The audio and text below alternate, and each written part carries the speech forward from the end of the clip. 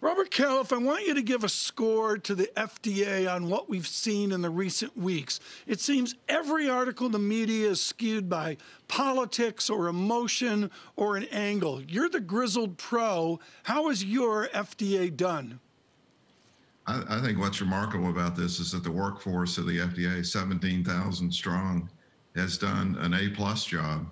The politics have swirled around. There's been a lot of stuff in the press and pressure and all this, but fundamentally, the FDA worked with uh, the industry to do the right development of the vaccines, the right clinical trials, and they've thoroughly assessed in the public view uh, the results of the clinical trials. So I'd give the workforce an A plus.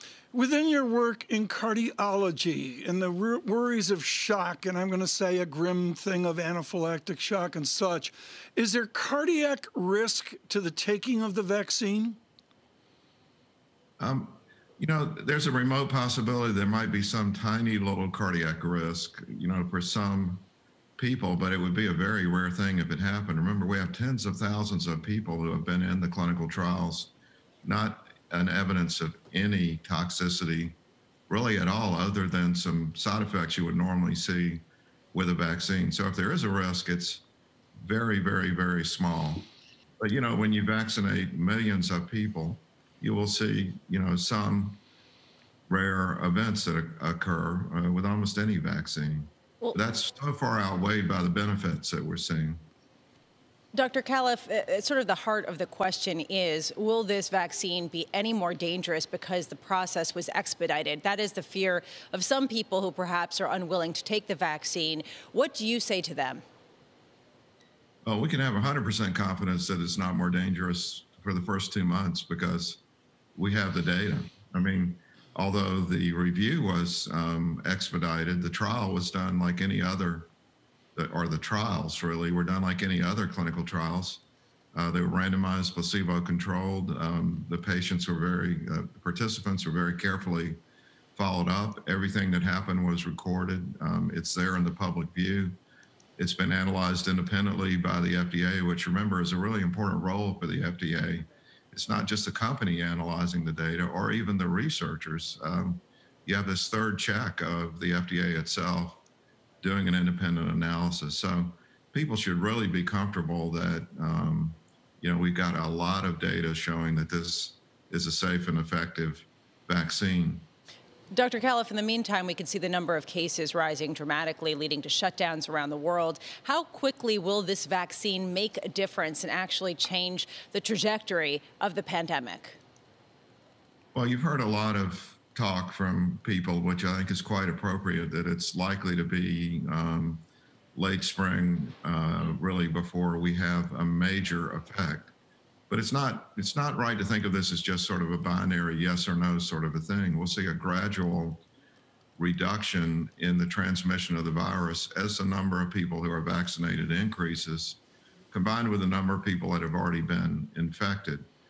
And, and we can't forget, probably most important of all, during the vaccination period, as we're rolling all these people through, which has to be done carefully, social distancing and wearing a mask will make an enormous difference in the number of people who die between now and the time when the um, pandemic mm. is well.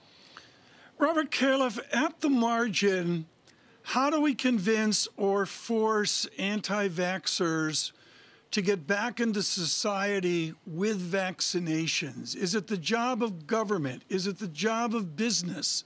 Is it the easy job of transportation that says you're not getting on the whatever if you don't have a vaccine? What do you see as the mechanism to drag anti vaxxers into a vaccination process?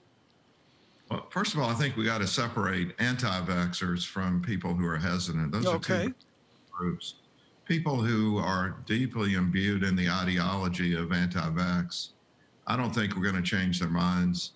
And I don't even think it's necessary for the most part that we force them to get vaccinated.